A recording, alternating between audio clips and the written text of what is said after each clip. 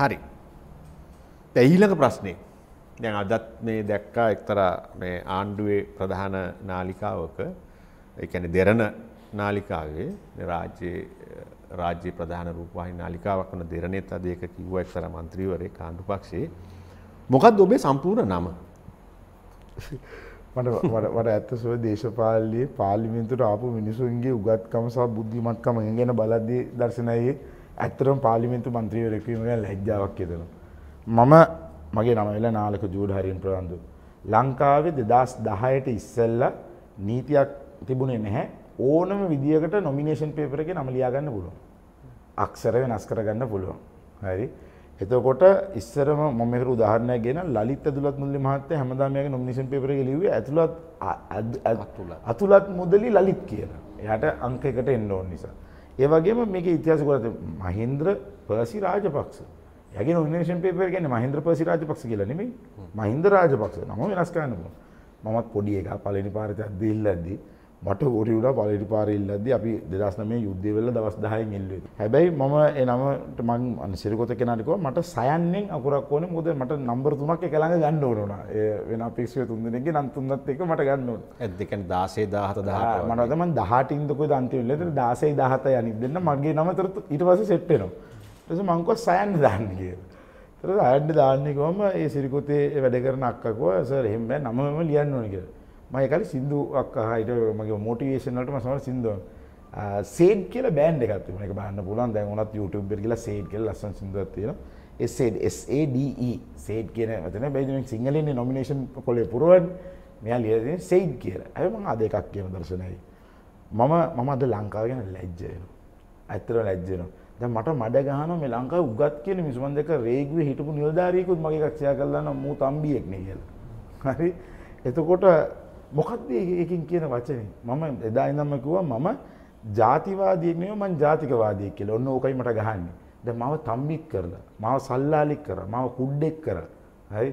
මම දෙනෝක හාමිය නැතුව අනිත් හැම ගෑණියෙක්ම ජීවත් වෙලා තියෙනවා. මේ රටේ දැන් තියෙන විදිහට. එතකොට මේ කියන විදිහට. මේ කියන විදිහට. ඒ කියන්නේ මේ මේ මේකේ මගේ චරිත මම දැක මට තවන අපහාසාත්මක සින්දුවක් හදලා තිබුණා. හරි? ඒක YouTube එකේ දාගන්න බැරි වුණා. ඒක WhatsApp වල යනවා. ඒ වගේ තාමත් නින්දිත විදිය කියනවා. මම මම අද මම හැමදාම කියන්නේ මම කාටවත් සාප කරන්න කියලා කියන්නේ හැබැයි මිනි මරපු මිනිසුන්ට මම සාප කරන්න කියනවා.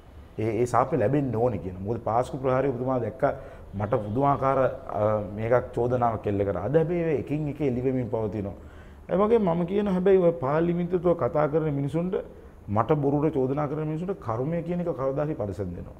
ඒ කර්මය කියලා එකක් තියෙනවා. මට ඔය කියන දේවල් ඒවන් Tamanට දරුවෝ ඉන්න ඒවා වෙන්න පුළුවන්. ඒ නිසා මම අද පැහැදිලිව කියනවා මම ජාතිවාදයෙන් නෙමෙයි ජාතිකවාදයෙන්. මං මගේ නම මුස්ලිම් සම්බන්ධයක් තිබුණේ හැබැයි මම මුස්ලිම් මුණායි කියමුකෝ. මට මම ඒක ගැන හැංගෙන්න මම කවදාවත් මේ මිනිස්සු වගේ දේශපාලනයෙන් සුදු රෙද්ද පොරව ගන්න කැමති වෙන මිනිහෙක් නෙමෙයි. මම මම සයිඩ් මෞලවි මොහමඩ් වුණත් මමත් මේ ලංකාවේ ශ්‍රී ලංකාවේ ජාතිය. හැබැයි මම එහෙම එකක් නෑ. දැන් මාව මේ මුස්ලිම් මිනිහෙක් තම්බියෙක් කරන්න හදන්නේ. ඒ කියන්නේ එහෙමනේ කියන්නේ මූ තම්බියෙක්. ඇයි එහෙම කරන්නේ? ඇයි මේ වචනේ පාවිච්චි කරන්නේ? මේ ජාතික ජාතිවාදී මානසිකත්වයෙන් රට විනාශ කරන්න යන මේ පිරිසක්. මේ පිරිසට තියෙන දේශපාලනයේ එකම ක්‍රමවේදය මේකෙන් එළියට පයින්න ජාතිවාදය උසනේ. දැන් ආණ්ඩුවට විරුද්ධව කතා කරන මම තම්බියෙක් බවට පත් වෙනවා. එක පැත්තකින් කුණ්ඩෙක් බවට පත් වෙනවා. එක පැත්තකින් සල්ලාලෙක් බවට පත් වෙනවා. මේ ඔක්කොම කරන්නේ මේවා නෙමෙයි මිනිසුන්ට අවශ්‍ය වෙන්නේ. මේ අපි අහන රටේ මිනිසුන්ට තියෙන ප්‍රශ්න වලට උඹලගේ උත්තර මොකක්ද? උඹලගේ වැඩ පිළිවෙල මොකක්ද? උඹලා ෆේල් උනේ මේ හේතු නිසා. ඇයි ඒවට උත්තර දෙන්නේ නැත්තේ? මිනිමරුත් එක්ක ජීවත් වෙන්නේ. පාස්කු පාරේ අල්ලපු මිනිහෙක් නෑ. තඹ ෆැක්ටරියක් අල්ලලා 10 දිනේ නිදාස් කරලා නඩු අයින් වෙනවා. එතකොට ඉස්සෙල්ලා කිව්වේ විමල් ලියරන්ස්ලා පොර ගගහ කිව්වේ මුන් තමයි ඔන්න අල්ලගත්තා කියලා. ඉතින් මොන තරම් බොරුවක්ද? ඉතින් මම අර හිජාසි ස්කූල් ගැන කතා කරපු නිසා ඔන්න ඔය එන එන එන ෂොට් එක මට මම කතා කරේ ජාතිවාදීලා ඉන්න එක නෙමෙයි මම කිව්වේ ජාතිකවාදී. මම කිව්වේ එමිණියට චෝදනා තුන චෝදනා ඉදිරිපත් කරපන්. මොකද මොනා වුණත් ලංකාව හොඳ ප්‍රසිද්ධ පාසල ගිහලා ප්‍රධාන ශිෂ්‍යනායෙක් වෙලා ඒ මිනිහගේ එහෙම සම්බන්ධයක් ජීවිතේට තිබිලා නැහැ ඔප්පු කරපන්. එහෙම නැත්නම් මොකද්ද බී රිපෝට් එකක් දාපන්. තස්ත වලක්ීමේ පනතර මිනිහෙක් කැට කරන්න එපා. රංජන් ගැන බලන්න. රංජන්ගේ මොකක් හරි මෙහක් වෙන්නේ මම කිසිම උසාවියක දුන්න තීන්දුවට මේ මේ අභියෝග කරනවා නෙමෙයි. මං කිව්වාගේ රංජන්ගේ කටේ සමහරතන් වල බ්‍රේක් නැහැ. ඒක අපි කවුරුත් දන්නවා. හැබැයි දීපු දේ ගැන අපි මිනිස්සු හැට අපි දැක්ක රංජන් පාර්ලිමේන්තුවේ විරුද්ධව සටන් කරපු මිනිහෙක්. අද මට මොකද්ද මේ වෙන්නේ යන්නේ? ඒක දෙක මට වෙන්න යන්න වෙන්න යන්න පටන්ගෙන තියෙනවා. රටේ ජනාධිපතිවරයා කියනවා මම චරිත දෙකක් කියලා. හරි? ඒතර මම චරිත දෙකේදී මට ඒ චරිතෙත් වෙන්න පුළුවන් මේ චරිතෙත් වෙන්න පුළුවන් මට අවදානමක් තියෙනවා. මම පොලිස්පතිට ලියුමක් ලියන උත්තරයක් නැහැ. ඊයේ පෙරේදා අන්තිම මම පාර්ලිමේන්තුව කිව්වා තාම උත්තරයක් ලියන්න බෑ පොලිස්පති. ඔබතුමා ලංකාවේ පොලිස්පති මිසක් ආණ්ඩුවේ පොලිස්පති නෙමෙයි කියලා. පැය තුනකට පස්සේ පාර්ලිමේන්තුවට අතින් ලියුමක් ගෙනවා. ඊගාව ඊට ඉස්සෙල්ලා දවසේ දිනේ දාලා. මොකද්ද කියලා දින උඹට කිසි ප්‍රශ්නයක් නැහැ. ජනාධිපතිතුමා උඹට බැන්නේ මේ ලංකාවේ මිනිස්සුන්ට මෝඩයෝද? මම මම මං කිව්වේ මට ඕනේ ආරක්ෂාව කියලා අයියේ මං කිව්වේ මට මේ මේ STF වට කරගෙන මම දැන් ඔබතුමා මාව දැක්ක මං කොහොමද ආවේ කියලා. ඔව්. මම ආවේ මොන විදිහටද කියලා ඔබතුමා දැක්කා. ඉතින් මම එහෙම ආරක්ෂක මානසිකත්වයක් තියෙන පිස්සෙක් නෙමෙයි. මම කිව්වේ මට භාෂණීය ආරක්ෂක දැන් භාෂණීය ආරක්ෂක නැහැ. පාර්ලිමේන්තුව කතා කරොත් වෙන සෙට් එකක් දාලා මඩ ගහලා ඒක ලංකාවේ ඉන්න ගංජා නාලිකාවයි අනිත් එක කුඩු නාලිකාවයි මාව තියාගෙන බයිට් කරනවා. හරි.